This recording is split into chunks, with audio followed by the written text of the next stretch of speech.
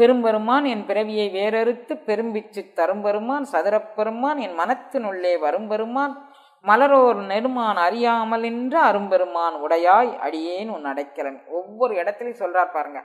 அவர் நினைப்படுத்துறார் நான் தப்பு செய்யத்தான்ப்பா செய்கிறேன் நீ தான் என்னுடைய உடையவன். நான் உன்னுடைய அடிமை. ஒவ்வொரு பாடல் நிறைவிலையும் அப்படியே சொல்கிறார் பாருங்க. உடையாய் அடியேன் உன் அடைக்கலமே. உடையாய் அடியேன் நினைப்படுத்திக்கிட்டே இருக்கணும். இவ அந்த இந்த இது இந்த பறவைகள் போய் அக்கினி பாபாங்கிட்ட அப்படி எப்படி நினைவுபடுத்திக்கிட்டே இருந்துச்சா? நாங்கள் பூமிக்கடியில் போகிறோம் எங் எங்களை காப்பாற்று நாங்கள் பூமிக்கடியில் போகிறோம் எங்களை காப்பாற்று அப்படின்னு. சாதாரணமாக அந்த பறவைகள்லாம் கூட அடைக்கலம் பண்ண தெரியுது பாருங்கள் நமக்கு அடைக்கலம் பண்ண தெரியல. நம்ம என்ன செஞ்சானாலும் நம்ம சாதாரணமாக ஒரு சின்ன விஷயம் ஒரு வீட்டில் ஒரு ந- இது நடந்தது. இது எப்படி நடந்துச்சுன்னா நான் நான் நான் இது செஞ்சுருக்கேன் போல இருக்கு. அப்போ எல்லாரும் என்னை ரொம்ப பாராட்டேன். நீ எங்கம்மா செஞ்ச? நீ செஞ்சேன்னு சொல்ல. ஆ நானாக்கு செஞ்சேன். நீ நீ செய்யலை. நீ அன்னைக்கு எங்கே மறந்து போயெல்லாம் விட்டுட்டு போனேன் நானும் அதை எடுத்து வச்சேன். நானும் அதை செஞ்சேன். அப்போ இது ஒரு சின்ன விஷயம். நான் செஞ்சானே நீ செஞ்சானே எல்லாரும் பாராட்டியிருக்காங்க. அது நான் நம்மளே செஞ்சுருக்கலாம். இருக்கட்டுமே. அதுலேயும் கூட நமக்கு நான்கது போக மாட்டேங்குது. அப்போ நம்ம வேற எதில் நம்ம நான்கதை நம்ம விட போகிறோம் அப்போ நம்ம மனத்தினுள்ளே வரும் பெருமானாக எம்பெருமானை ஏன்று கொள்ளவும் அவனை வரவேற்கவும் நம்ம அவனுக்கு ஒரு ம- மங்கள சின்னங்கள் நாட்டி அவனை நம்ம வரவேற்கணும்னா நம்மகிட்ட உள்ள யான் எனதுங்கக்கூடிய அகப்புற பற்றுக்களை துறந்தால்தான் அந்த மங்கள சின்னமாக அமையும். எம்பெருமான் நம் மனத்துக்குள் வரும் பெருமானாக வருவான். அதுக்கு அவர் சொல்கிறாரு பெரும்பெருமான் நீதான் த பெ- பெரியவர்களுக்கெல்லாம் பெரியவன் நீதான். இந்த உலகத்தில் வானாகி நின்றாயே. இந்த வான் எத்தனை பெருசோ அத்தனை பெருசா நீ நின்ற வானாகி நின்றாயே மலையாகி உயர்ந்தாய் கடலாகி விரிந்தாயே. அவன் வந்து கடல் மலை வான் இது எல்லாம் கடந்தவன். அவனை நான் என்ன சொல்வேன்? ஆனால் அவன் பெரும் பெருமா. அவன் அவனுக்கு மேலே பெருமை உடையது அவனுக்கு மேலே பெருசானது ஒன்றுமே கிடையாது. பெரும்பெருமான் என் பிறவியை வேறறுத்து பெரும்பிச்சு தருமான். ஒரு பிறவி வேறறுதுங்கிறது அவ்வளவு சுலபமான காரியம் இல்லை பாருங்க. இப்போ நான் சூரபன்மனுக்கும் இறைவனுக்கும் நடந்த யுத்தத்தை சொல்லும்போது ஏன் அடைக்கல பத்துக்கு அந்த பாடல் கொண்டுட்டு வந்தீங்கன்னு உங்களுக்கு ஒரு நினைவு வரும். சூரபன்மன் வந்து பதினெட்டு ஆண்டு காலம் இறைவன் முன்னால் நின்று என் இப்பரு வடிவம் நீ காண்டுதி அப்படின்னு சொல்லி காமிச்சு கொடுத்தும் கூட அவனுக்கு வந்து பணிவு வரல அப்படின்னு சொன்னால் பிறவியை வேறறுப்பது என்பது அவ்வளவு சுலபமல்ல அப்படிங்கிறது நமக்கு தெரியுது பாருங்கள் ஒரு முனிவர் வந்து மந்தபாலருங்கக்கூடிய முனிவராக இருந்தவர் ஒரு பறவை ஆயிட்டார் புரந்தரனார் ஒரு பறவை ஆயிட்டார் அப்போ பிறவி வேற இருக்கக்கூடியவங்க பிறக்க மாட்டாங்க தானே? இவங்களாம் பிறந்துட்டாங்களே. பதப்பெருமை பெற்றவர்கள் கூட பிறக்கிறாங்கன்னா அப்போ நாம் பிறக்கிறது அவ்வளவு ஒன்றும் அரிய செய- செயல்னு சொல்லக்கல. ரொம்ப மிக எளிதி நம்ம பிறந்துருவான். ஆனால் அவன் பெரும்பெருமான் என் பிறவியை வேறறுத்து பெரும்பிச்சு தருமரம். நான் என்னுடைய உலகியல் சிந்தனை அனைத்தையும் மறந்து மற்ற உண்மத்த நிலையில் நான் வந்து உலகில் போதனையே கடந்த போதமும் கடந்த போதமே. நான் இந்த உலகியல் போதங்கள் அனைத்தையும் கடந்து ஞான போதத்திற்குள் நான் தோய்ந்திருக்கக்கூடிய நிலையில் வைத்தான் பெரும்பிச்சு தரும் பெருமான். என் பெருமான் பெரும்பெருமான் அவன் என் பிறவியை வேறறுத்த பெருமான் அவன் எனக்கு பெரும்பிச்சு தரும் பெருமான். அதனால அவன் எனக்கு உளவாகவும் இருக்கிறான் அப்படி சொல்றார்.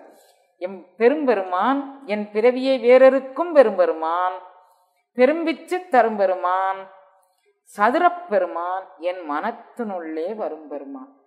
அவன் மனதுக்குள்ளே வந்து நின்றா கூட நம்ம மறந்துடுவோம் அவன் ம- நின்று உருக்கி புகுந்து ஆண்டு அவர் எத்தனை பதம் போடுறார் பாருங்க.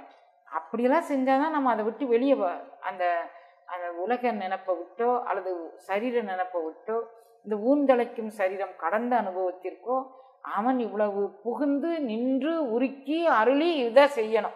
அதனால என் மனத்தினுள்ளே வரும் பெருமான் அவனா வந்து டபக்குன்னு போய் புகுந்துட்டான்னா மனதுக்குள்ள புகுந்துக்கிட்டான்னா இப்போ ஒரு பாத்திரத்துல தண்ணி பிடிச்சி வைக்கிறோன்னா அந்த தண்ணி தண்ணியை தாண்டி காற்று உள்ள போய் நிரப்ப முடியாது.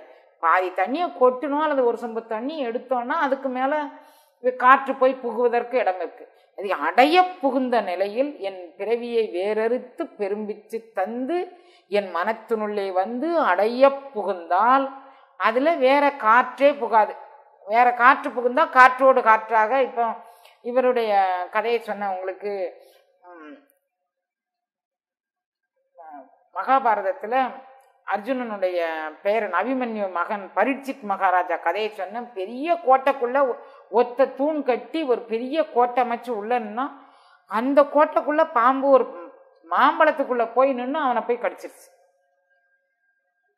அப்ப என்ன அவன் அடைய புகுந்திருந்தா மட்டும்தான் இதெல்லாம் வேற இருக்க முடியும்.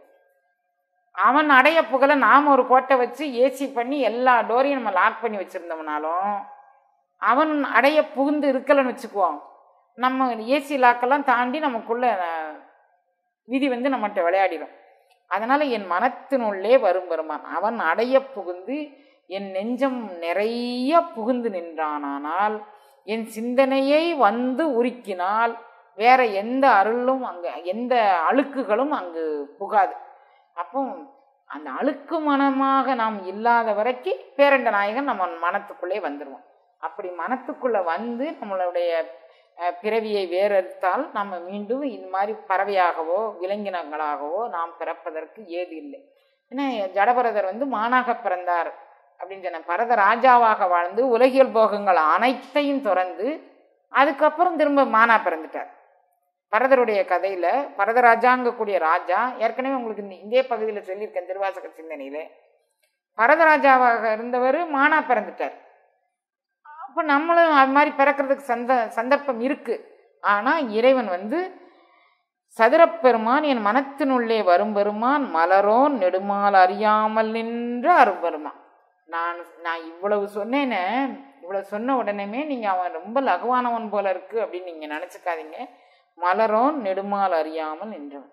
அவன் பிரமாதி தேவர்களுக்கும் அறியவன். ஒவ்வொரு பாடலையும் எப்படியாவது இந்த பிரமாதி தேவர்களை இழுத்துருவார் ஏன்னு கேட்டிங்கன்னா இந்த பிரமாதி தேவர்கள் தான் அடியும் முடியும் காண போனார்கள். அவர்கள் தான் இறைவன் வந்து ஒ- ஒளிவண்ண திருமேனின்னு காமிச்சு கொடுத்த மணிவாசகர் சிந்தனை முழுவதும் ஒளிவண்ண திருமேனியை பற்றியது. இந்த எல்லா பகுதிகள்லையும் பார்த்தீங்கன்னா ஒரு பதிகத்திலனாலும் அயனையோ மாலையோ இழுக்காத பதிகமே கிடையாது. இந்த அறுநூத்தி ஐம்பத்தி எட்டு பாடல்களில் ஏறத்தாழ நானூறு ஐநூறு பாடல்களுக்கு மேலே. எல்லாம் மலரோன் அறியாமல் நின்றான் நெடுமால் அறியாமல் நின்றான் பிரம்மன்மால் அறியா பெற்றியன். எப்படினாலும் அது வந்துடும் எதுக்காக வேண்டி அதை சொல்றாருன்னா இவ் மணிவாசக சிந்தனை முழுதும் இறைவன் ஒளிவண்ண திருமேனியானவன். ஒளிவண்ண திருமேனியை அருள் அனுபவமாக நாம் உள்வாங்க முடியுமே தவிர ஒரு உருவத்தில் காண முடியாது. உருவத்தில் காணக்கூடிய எதுவும் முழுநிலை அனுபவமாக ஆகாது. உருவத்தில் காணலாம் உருவத்தை கண்டு அனுபவிக்கலாம். உருவத்தில் எல்லா அருளாளர்களுக்கும் வந்து காட்சி கொடுத்துருக்கிறாரு. எல்லா திருக்கோயிலையும் இருக்கக்கூடியவங்கள்லாம் இது க- அப்படி இல்லை நான் அனுபவித்தவன் நின் உண்மை பெருக்கமாம் தன்மையை கண்டு காட்ட வேண்டும்னு அவர் கே- உள்ளவா காண வந்து அருளாய். நான் உள்ளது உள்ளபடி இந்த அருளாளர்கள்லாம் இப்போ தாய்மான சுவாமிகள் அகிலாண்டேஸ்வரி சேலையில் நெருப்புப்பட்டது இருந்தார்னா அவர் தன்னுடைய தூரதிருஷ்டி மூலமாக தன்னுடைய ஞான திருஷ்டி மூலமாக அங்கிருந்து அங்கே பார்க்கக்கூடிய ஒரு வலிமை ஒரு கூர்த்த மெய்ஞானம் கொண்டு உணர்வார்தம் கருத்தில் நின்று அவர் பார்த்திருக்கிறாரு தெரிஞ்சிருக்கு. அதுக்காக வேண்டி அதுதான் நான் தன்மைன்னு இல்லை. அவர் வந்து பேசறிய வாசியாலே ஓம் என்ற பிரணவத்தை எனக்கு தந்தாய் அப்படின்னு அதே அகிலாண்ட மாலையில் சொல்கிறார் பேசறிய வாசியாலே நின்று தந்தாய் அப்படின்னு சொல்கிறார் அப்போ அந்த அருள் அனுபவம் எனக்கு கிடைக்கணும்னா நீ வந்து என்ன செய்யணும் அப்படின்னா உன்னுடைய உண்மை பெருக்கமாம் தன்மையை நீ எனக்கு த காமிக்க வேண்டும். உள்ளவா காண வந்தரல இப்போ நம்ம இந்தந்த கோயில்களில் இவங்க இங்கே ஒரு கோயில் இருக்குது இங்கே ஒரு கோயில் இருக்குது அங்கே ஒரு கோயில் இருக்குது எல்லா கோயில்களும் இருக்குது எல்லா கோயில்கள்லையும் அருளாளர்கள் வந்து தரிசனம் பண்ணியிருக்கிறாங்க அருளாளர்கள் வந்து பாடல் ஏற்றியிருக்கிறாங்க பாடல் பெற்ற தலங்கள்னு இருக்குது எல்லாம் இருக்குது கண்கள் இரண்டும் அவன் கடல் கண்டு கழிப்பனாகாதே காரிகார்கள் தம் வாழ்வினுடைய வாழ்வு கடைப்படும் ஆகாதேன்னு ஏன் சொன்னார்னா நான் பெற்ற அருள் அனுபவம் இதையும் கடந்தது. நான் ஒளிவண்ண திருமேனியாக கண்டேன். இந்த ஒளிவண்ண திருமேனியாக காண்பதற்கு எனக்கு உறுதுணையாய் நின்றவர்கள் பிரம்மனும் மாலும். ஏன்னா அவர்கள் அடியும் முடியும் காண வேண்டும் என்னும் ஆசையால் அவர்கள் ஒருவர் அடி காண போனார் ஒருவர் முடி காண போனார். இரண்டு பேராலும் கண் கொண்டு காண முடியாதவன் அறிவு கொண்டு காண முடியாதவன் அறிவால் அறியப்படாதவன் கண்ணால் கண்முதல் புலனால் காட்சியில்லான் அவனை எப்படி காண வேண்டும்? உணர்வால் உணர வேண்டும்னு உணர்த்தியவர்கள் இந்த அடியவர்கள். அதனால எல்லா இடத்திலையும் அவர்களை பதிவு செய்கிறார். நான் கண்டது ஒளிவண்ண திருமேனி அது இந்த உடல் கடந்த பயணத்தால் பெறக்கூடியது. உச்சத்தார் பெருமானாக பேரண்ட நாயகன் எனக்குள் வர் என் மனத்தினுள்ளே வரும் பெருமான். உச்சத்தார் பெருமானாக இருந்து பார்வதம் அண்டம் அனைத்துமாய் முளைத்த படரொளி பரப்பு தன்னுடைய அனைத்து ஆற்றல்களையும் குறுக்கி கொண்டு என்னுடைய உடல் தாங்கும் வண்ணம் என்னுடைய உயிர் தாங்கும் வண்ணம் நான் பெ பெரும் அருள் அனுபவத்தை தாங்கிக் கொண்டு நான் என்னுடைய உடல் நடுங்காமல் என்னுடைய உயிர் நடுங்காமல் எந்த அருள் அனுபவத்தை பெற்றானாலும் உடல் சிறிது நேரம் ஆடிக்கொண்டே இருக்கும். ஏன்னா இந்த உடல்ல அதை தாங்குவதற்கு சில ஆற்றல் வேணும். இந்த ஊன் கலைந்த ஊன் திசுக்களுடைய வலிமை வந்து மிகவும் பொல்லாது. அது வந்து ஒளி திசு ஒளிவை உள்வாங்கிக் கொள்வதற்கு தாங்க முடியாது.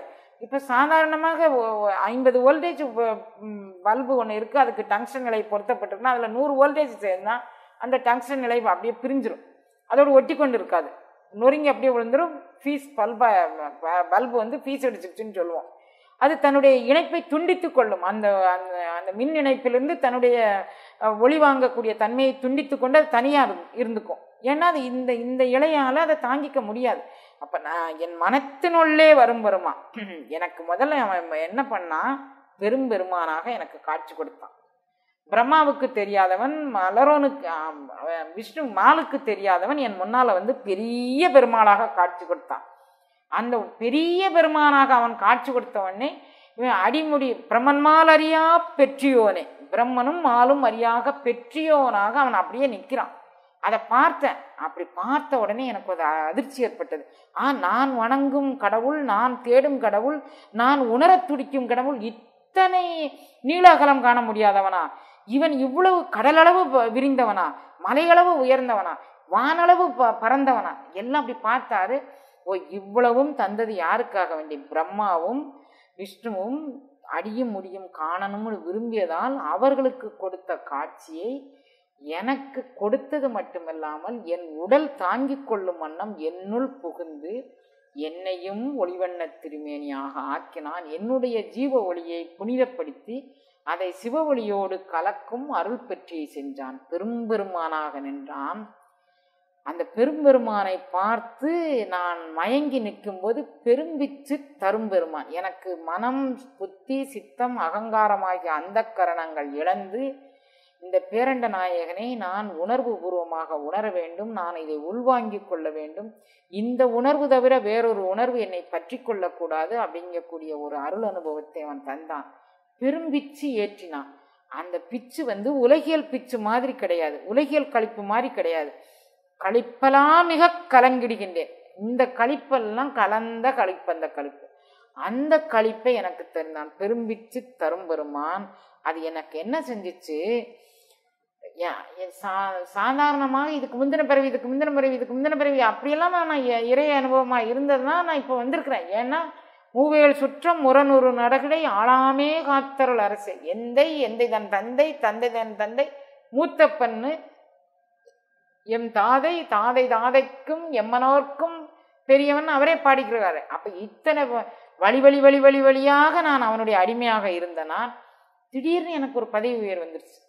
என் இனிமே நீ பிறக்க வேண்டிய அவசியம் இல்லடா. ஏன்னா முன் செய்த பொய்யற துகளறுத்து முன்னால் நான் ஏதோ ஒரு தப்பு செஞ்சேன் அந்த பொய்மையினுடைய துகள் அறுபடுவதற்காக வேண்டியும் இந்த உலகியலுக்கு திருவாசகம்ங்கக்கூடிய ஒரு சிந்தனையை தருவதற்காக வேண்டியும் இறைவன் என்னை படைத்துள்ளாங்கிறத புரிஞ்சுக்கிட்டேன்.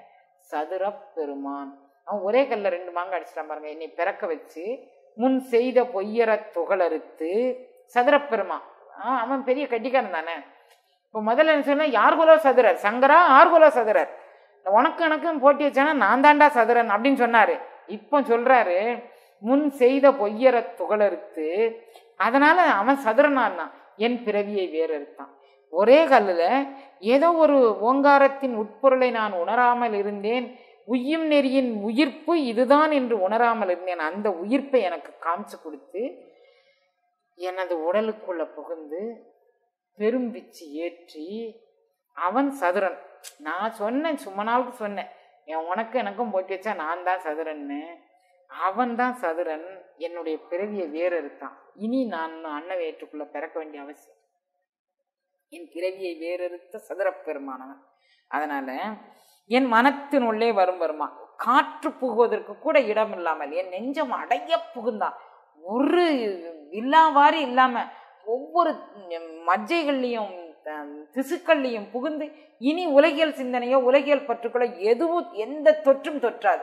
அடியவர் கூட்டுங்கக்கூடிய பெரிய கூட்டத்தில் சேர்த்து வச்சிருக்கிறேன். அது வந்து உலகத் தொற்று. அந்த வைரஸ் உலகியல் வைரஸ் அத்தனையும் அழிக்கக்கூடியது அடியவர் கூட்டு. அதில் சேர்த்து வச்சுட்ருக்கேன் அதனால் என் மனத்தினுள்ளே வரும் பெருமான் மலரோன் நெடுமால் அறியாமல் நின்று அரும்பரும். அவங்க மனசுக்குள்ளேயும் இது மாதிரி போய் நின்றுருந்தாங்கன்னா அடிய முடியும் தேட அவங்க பேர்க்க மாட்டாங்க தானே. அடிமுடி தேட போனவங்க அவங்க மனசுக்குள்ளே இறைவன் இங்கே இதுதான் இறைவன் இருக்கும் இடம் அப்படின்னு அவங்க தெரிஞ்சிருந்தாங்கன்னா அவங்க அடிமுடி தேட போயிருக்க மாட்டாங்களா அடிமுடியே புறத்துல எல்லாம் தேடினாங்க அவங்க. அவங்க புறத்தில் தேடியதால் நான் இது புறத்தில் தேடக்கூடிய பொருள் அல்ல அகத்தில் தேடக்கூடிய பொருள் அது மயமாக இருக்கக்கூடிய பொருள்னு நான் உணர்றதுக்கு அவங்க தானே குருவாக இருந்தாங்க. அதனால் எல்லா பாடல்கள்லையுமே அவங்க ரெண்டு பேரையும் அவர் நினைக்கிறாரு.